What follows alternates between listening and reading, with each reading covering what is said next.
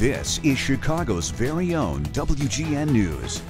Well, some kids are getting a valuable life lesson tonight, but they're not in a classroom or a lecture hall. They're in a boxing ring. Dozens of kids are taking part in a fight night at St. Eugene School on the northwest side. The boxing program is run by an all-volunteer coaching team of law enforcement, first responders, and veterans. They teach the kids confidence and self-esteem with mental, physical, and emotional training. The coaches want the kids to be prepared for everything life throws their way.